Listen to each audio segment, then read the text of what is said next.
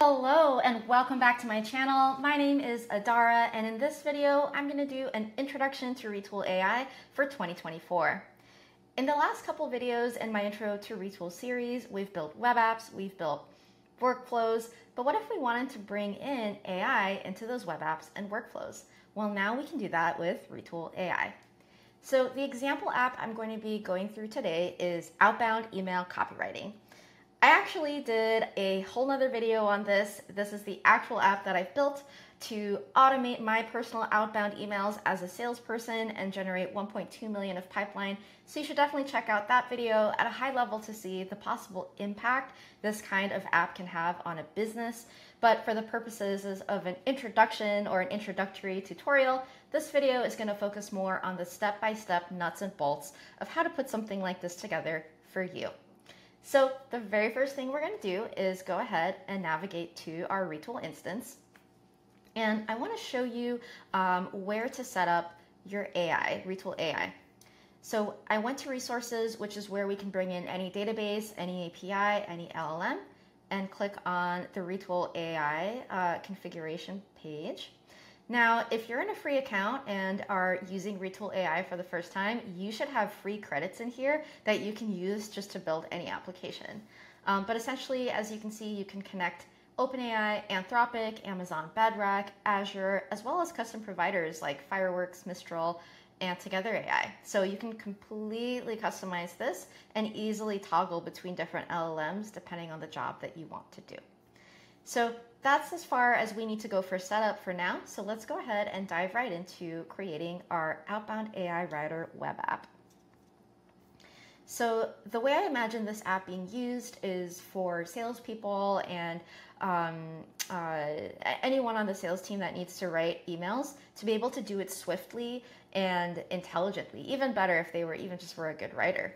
Um, so first we want to have a title of our app here and then we want a chat component on the left, and I like to have a container on the right just to store um, to store example prompts because people aren't always going to think of the best prompts on the go, so we might as well store them here so that they can easily copy paste the prompts into the chat component.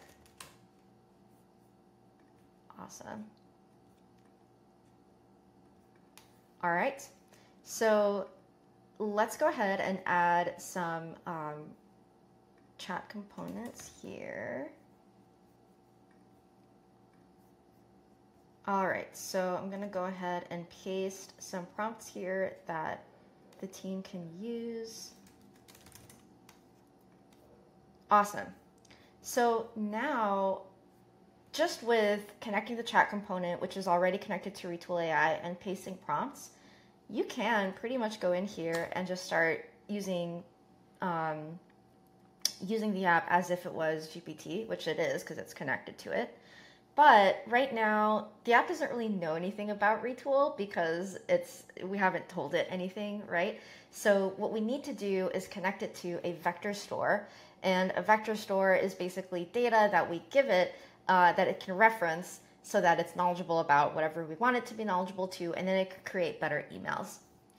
So the way we create the vector store is with retool vectors. So I'm gonna go ahead and create a new vector store, and let's just call this demo uh, outbound email vector store.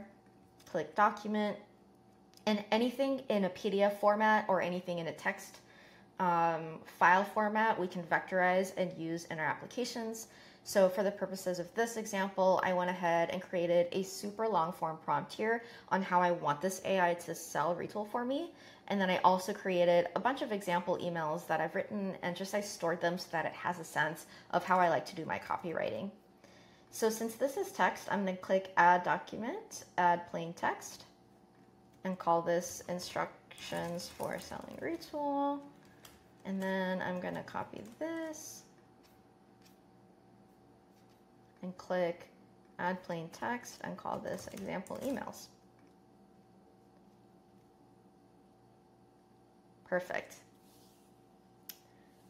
Now this vector store is going to be ready for us to use. I just have to make sure to refresh this application so that it can I can allow it to reference it. So back to my chat component and back to the chat query, we can see it's already connected to Retool AI. The action is generate chat response. We're not going to need to touch the input and message history since that is allowing it to save and reference the chat history out of the box, so we don't need to change that. Personally, I like the temperature to be at about 70%. And then uh, I'm going to want it to reference my uh, vector store here. And so, oops, I just unselected that. Perfect. And so now it's going to know about this particular way of selling and it's going to be able to use that in its output. Last but not least, we can also configure the model. Again, uh, Retool AI comes with GPT-4 out of the box for you to play with and a bunch of credits. So you should definitely take advantage of that. And then we're going to save this chat component and it should be done. And so now when we copy paste this prompt, the quality of the emails should be better and it should even reference and sound like uh, the emails that we put in the vector store.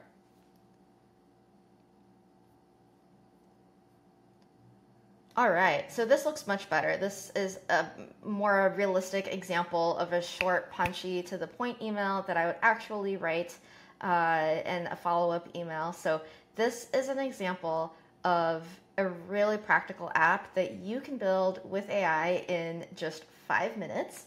Uh, that saves your team a lot of time. So I hope this was helpful. Uh, in the next tutorial, I'm going to walk through how to automate this entire thing with a retool workflow. So stay tuned for that. Thanks for watching, and please drop any comments that you have in the comments.